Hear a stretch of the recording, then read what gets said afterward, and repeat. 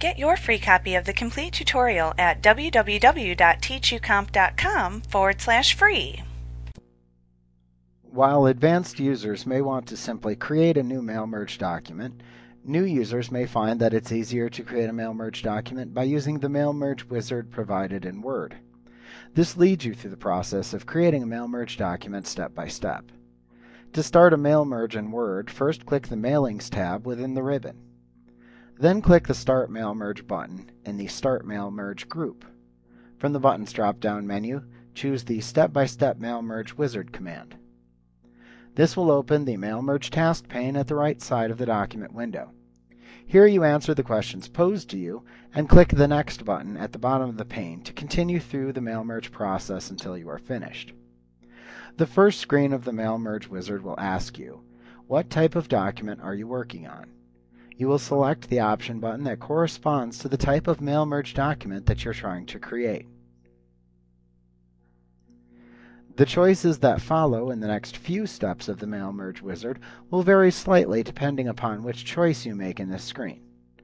When you have made your selection, click the Next Starting Document hyperlink that appears at the bottom of the task pane to continue.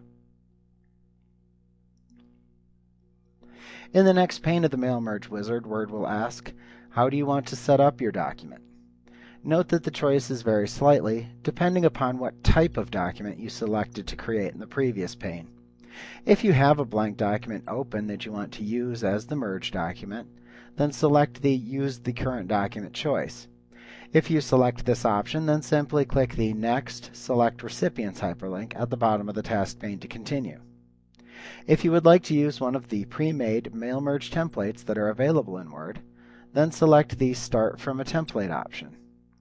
In this case, you would then need to next click the Select Template hyperlink that appears in the middle of the task pane in order to open the Select Template dialog box. In this dialog box, you can then double-click on the mail merge template that you want to use. Note that the template can be modified, if necessary, to better suit your needs.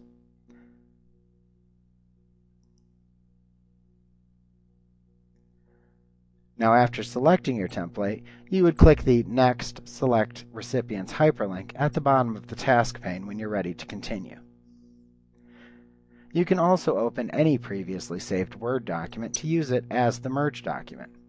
Now if you wish to do that, you would choose the Start from Existing Document option. In the Start from Existing section that appears, you can then click the More Files option and then click the Open button to launch the Open dialog box.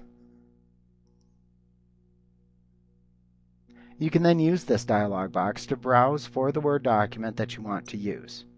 Once you've found it, just double-click the document in the Open dialog box to have it display in the main document window. At that point, you can then just click the Next Select Recipients hyperlink at the bottom of the task pane to continue. Also note that if you selected the Envelopes or Labels option back in the first screen of the Mail Merge wizard, then in the second screen you'll have completely different options than the ones that we just mentioned. If you selected Envelopes, then you will see two options in the task pane. If the currently open document isn't a standard envelope, then you can select the Change Document Layout option and then click the Next Select Recipients hyperlink at the bottom of the task pane to continue to the Envelope Options dialog box. You could also just click the Envelope Options command within the task pane to open the Envelope Options dialog box if you prefer. Now the Envelope Options dialog box contains options for printing your envelopes. Most importantly, here is where you select the envelope size that you'll be using. You can also set the display of the font for both the return address and delivery address on the Envelope Options tab. Then you can click the Printing Options tab to set other options, such as the printer feed options and printer tray options. When you finish setting your desired options, Click OK to return to the Mail Merge wizard. If necessary, you can then click the Next Select Recipients hyperlink at the bottom of the task pane to continue to the third screen in the Mail Merge wizard. Now, if you selected the Labels option in the first screen of the Mail Merge Wizard, then the second screen will have options similar to the ones that you have for envelopes. So if the currently open document isn't a standard label, then you can click the Change Document Layout option and then click the Next Select Recipients hyperlink at the bottom of the task pane to continue and open the Label Options dialog box. You could also directly just click the Label Options hyperlink in the task pane to open the Label Options dialog box if you prefer. Now this dialog box contains the options for printing your labels. So first select whether you will be using a continuous feed printer or page printers by choosing the appropriate option in the printer information section. If you select the page printers option, you may need to select from which tray in the printer you will print your labels by choosing the desired tray from the tray dropdown. In the Label Information section, select the manufacturer of your labels from the Label Vendors dropdown. Then select the label type you will be using from the product number list. Once you've selected your label type, click the OK button to return to the task pane. If necessary, click the Next Select Recipients hyperlink at the bottom of the task pane to continue to the third screen in the Mail Merge wizard.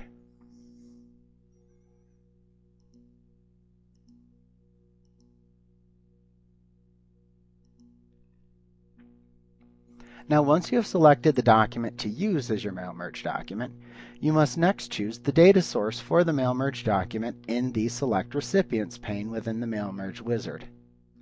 If you already have a list, such as a Word table or Excel spreadsheet that you wish to use for the merge document, then choose the Use an Existing List option at the top of the task pane.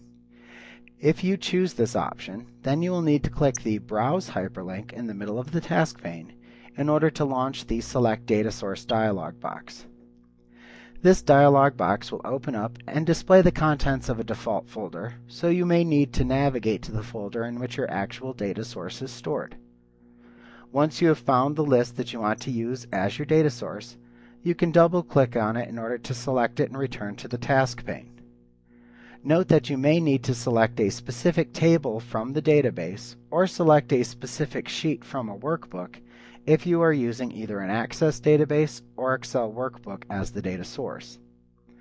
Once you have selected the data source you will be using, you will see the Mail Merge Recipients dialog box appear. You can use this dialog box to filter and sort the recipient information. We will examine how to use this dialog box in a separate lesson. However, once that has been done, you can click the OK button in the Mail Merge Recipients dialog box to close it and return to the task pane. If you wanted to use information from an Outlook's contact folder versus using an existing list, then you would select the option button for Select from Contacts in the Select Recipient screen in the task pane. That will then launch Microsoft Outlook. In Outlook, you will need to select the Contacts folder that you want to use as the data source. Once you've selected the Contacts folder that you'll be using, you will again see the Mail Merge Recipients dialog box appear where you can filter and sort the data from the data source. Once again, we'll cover the use of that dialog box in a separate lesson, as it's fairly extensive. Once you've finished using the dialog box, just click the OK button to return to the task pane. You could also create a new list of mail merge information to use by selecting the Type a New List option in the task pane, and then clicking the Create button that appears. Word then prompts you to create a new list for the mail merge in the New Address List dialog box. We will cover how to create and edit a data source on the fly in a separate lesson.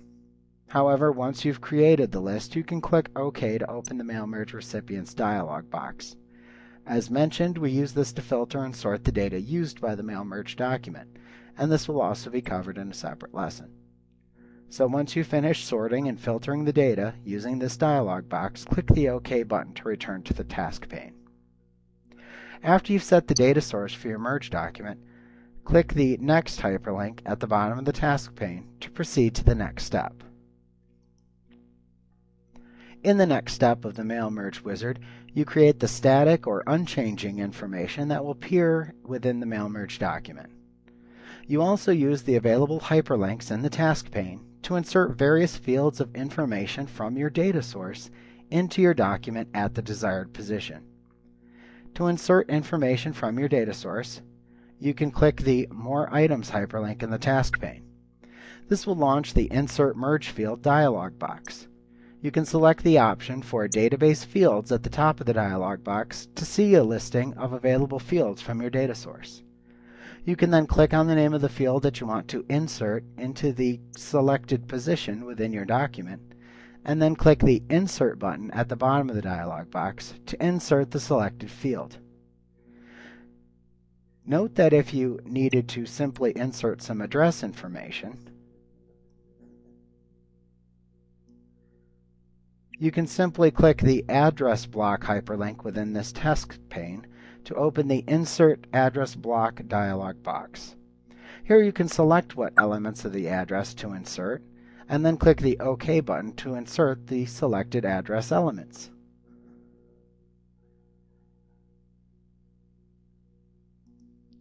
You could also click the Greeting Line hyperlink in the task pane to open the Insert Greeting Line dialog box.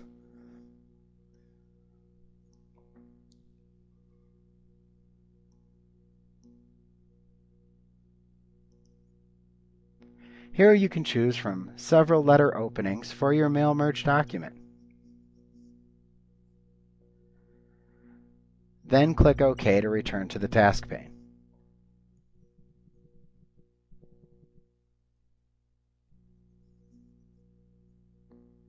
Also note that if you are creating labels, you only need to create the fields in the first label. You can then click the Update All Labels button to copy the fields that you inserted into the first label to all of the other label areas in the Mail Merge document. Now when you are done creating your merge document, click the Next button at the bottom of the Mail Merge to continue. The next screen in the task pane allows you to preview the merge results. To do this, just click the double pointing chevrons at the top of the task pane to view the merge results prior to actually merging the data. After you've previewed the information to ensure that the merge has been performed correctly, click the Next button at the bottom of the task pane to continue.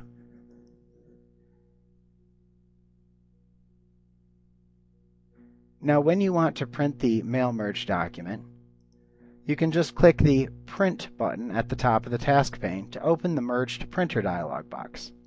Here you can select the range of records in the data source that you want to print, and then just click the OK button when you're ready to print the selected records. If you wish to make individual changes to different letters or labels, etc., within the merge group, then you can click the Edit Individual Letters hyperlink in the middle of the task pane. This will launch the Merge to New Document dialog box, where you can select the range of records to merge to a new document. This would be the output document that is often created during the merge process. In the new document window that appears, you can then make changes to the individual letters if you wish. You can then print the new output document along with any of the individual editing changes that you have made in order to complete your merge.